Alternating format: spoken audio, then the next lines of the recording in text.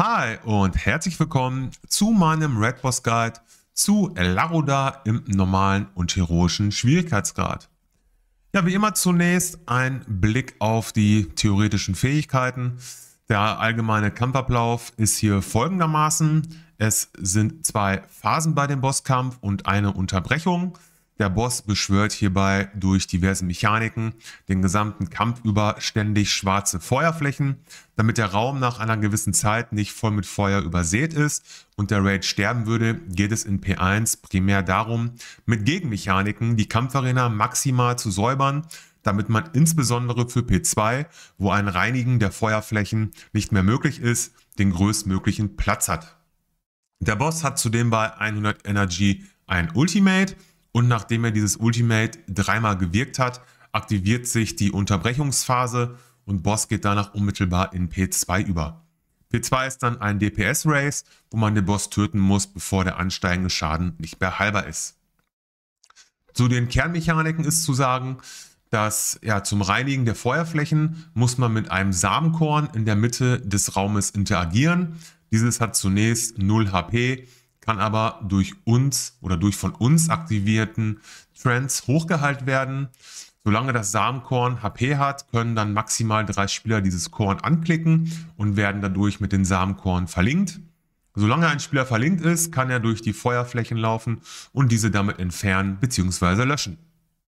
Mit den Trends läuft es zunächst so ab, dass diese vom Boss beschworen werden und uns zunächst feindlich gesinnt sind in diesem Zustand müssen diese von einem der Tanks eingesammelt werden, wobei der Tank mit einem stackbaren Feuerdebuff belegt wird.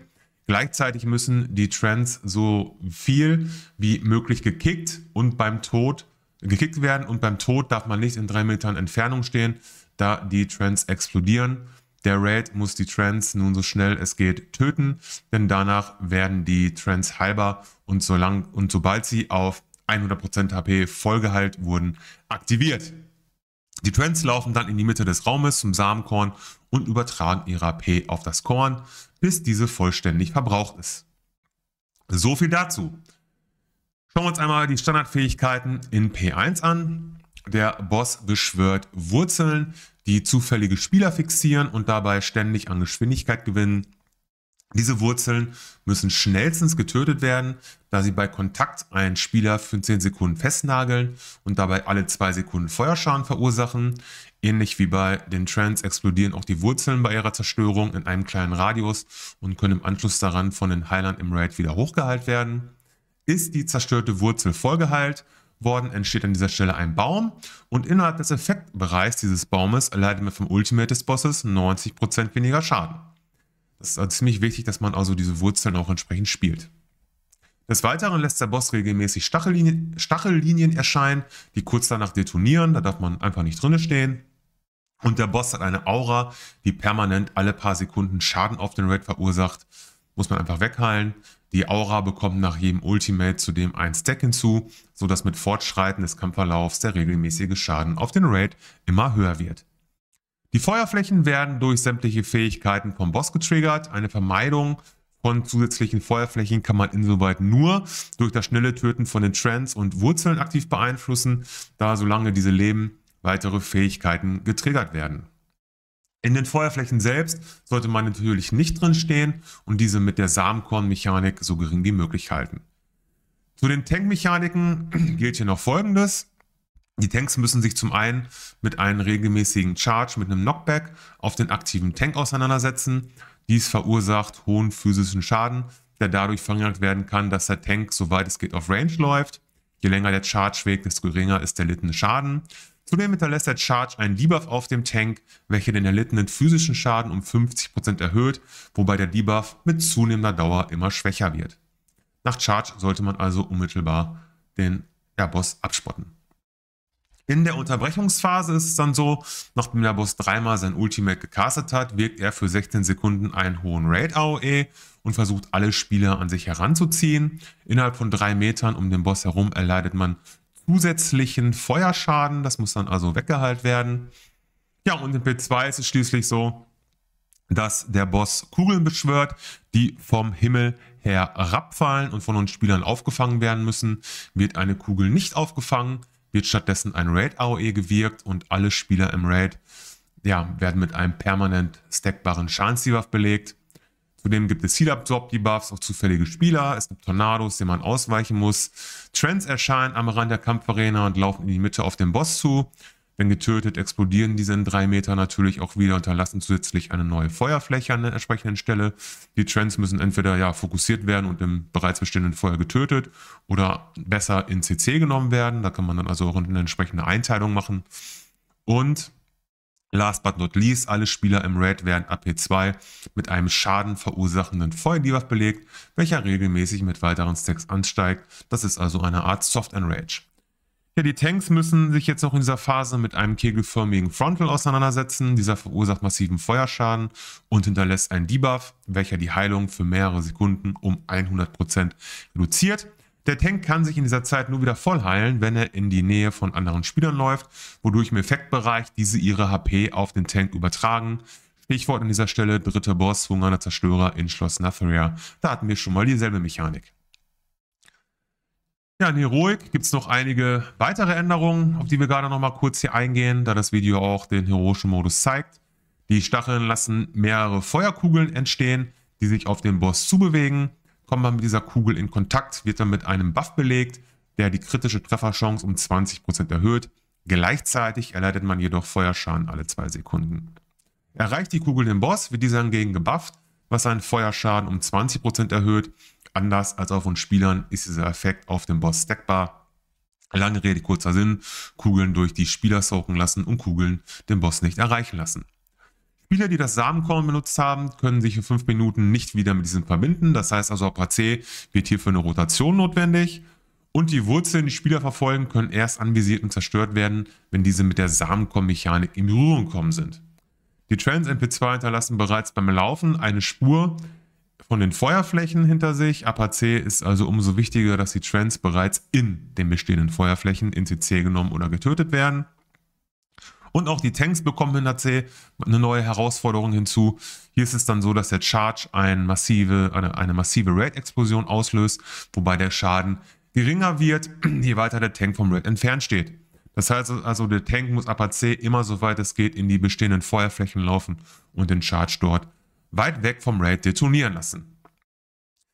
Ja, ihr seht schon hier, der sechste Boss, äh, deutlich mehr Mechaniken als bei den anderen Bossen noch zuvor. Insoweit schauen wir uns das Ganze jetzt nochmal einmal in der Praxis an. Man sieht hier schon, der Bossraum ist von Beginn an schon mit sehr vielen ja, Feuerflächen überall belegt, die den Platz schon ziemlich klein halten. So, und dann spawnen hier, wie gesagt, diese Trends, die uns jetzt zunächst einmal feindlich gesinnt sind, ganz am Anfang. Diese Trends müssen jetzt also von uns schnellstmöglich downgenugt werden. Sind diese Trends von uns besiegt worden, können diese jetzt durch die Heiler vollgeheilt werden und hat die Heilung auf 100% Erfolg. Man sieht es hier dann gleich, laufen die Trends in die Mitte zu diesem ja, Samenkorn hier und beginnen jetzt hier mit Nature's Gift dieses Samenkorn voll zu heilen. Dadurch können, wie gesagt, die vorher auserwählten Spieler, drei Stück, mit diesem Samenkorn hier in der Mitte interagieren und dann beginnen, sieht man hier jetzt sehr schön, diese bereits in der Mitte ausgewucherten Feuerflächen sozusagen zurückzusaugen. Achtet mal darauf, hier zack, zack, zack. Und wir haben dann wieder mehr Kampf in der oder mehr Platz in der Kampfarena. Hier ist wie gesagt einmal diese Wurzel jetzt gespawnt. Dadurch, dass wir hier in Roche spielen, mussten wir jetzt quasi dieses, äh, diese Wurzel erst aktivieren, dass sie angreifbar wird. Auch mit dieser Mechanik hier, mit dieser Samenkorn-Mechanik. Die Wurzel wird jetzt schnell von uns zerstört. Dadurch entsteht jetzt an dieser Stelle der Baum, der ja, jetzt auch nochmal vollgehalten werden muss, um uns quasi vor den Ultimate zu schützen.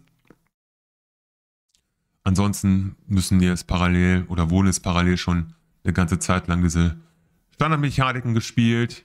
Hier zum einen diese Stachellinien, aus denen jetzt, da wir uns in HC befinden, ne, hier diese Kugeln spawnen, die jetzt von uns Spielern aufgesaugt werden müssen, dürfen den Boss nicht erreichen. Die aufsaugenden Spieler werden dadurch gebufft. Hier ist jetzt das Raging Inferno, ne? 100 Energie. Der Boss castet sein Ultimate. Dadurch, dass wir aber hier die Wurzel getötet und dadurch den Baum gezüchtet haben, sind wir jetzt von diesem Schaden geschützt. Man sieht hier, alle stehen da drin und erleiden kaum bis ja, moderaten Schaden. Hier ist wieder dieser Charge, Furious Charge auf den Tank.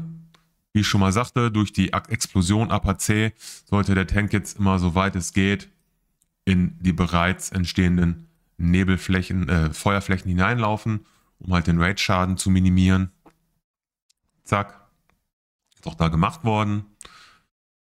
Ja, das ist im Endeffekt dann der ganze, die ganze P1. Hier spawnt jetzt wieder eine neue Runde von der Trends. Die muss wieder getötet werden, vollgeheilt werden. Dann wird der Samenkorn aktiviert. Durch den Samenkorn können, können auserwählte Spieler wieder die Feuerflächen zurückdrängen.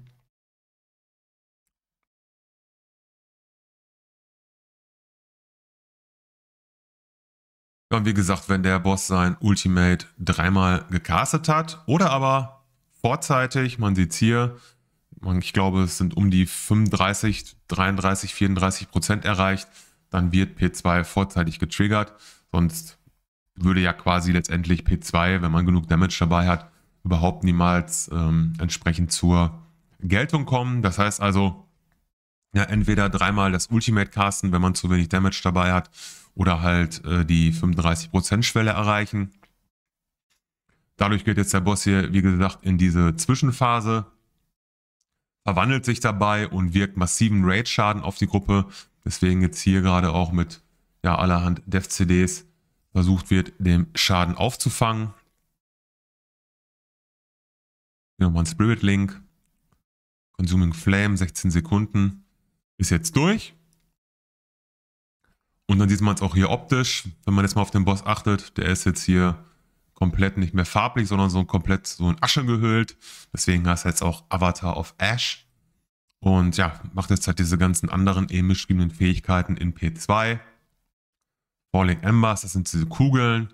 Wie gesagt, muss man sich jetzt reinstellen, um zu verhindern, dass eine Kugel auf dem Boden aufschlägt und dadurch den Red vibet. Hier werden jetzt die Trends im Außenbereich entsprechend ja, getriggert. Ne? Wenn jetzt hier ganz schön CC't, dürfen auf jeden Fall jetzt nicht diesen inneren Bereich erreichen, um halt weitere Feuerflächen zu machen.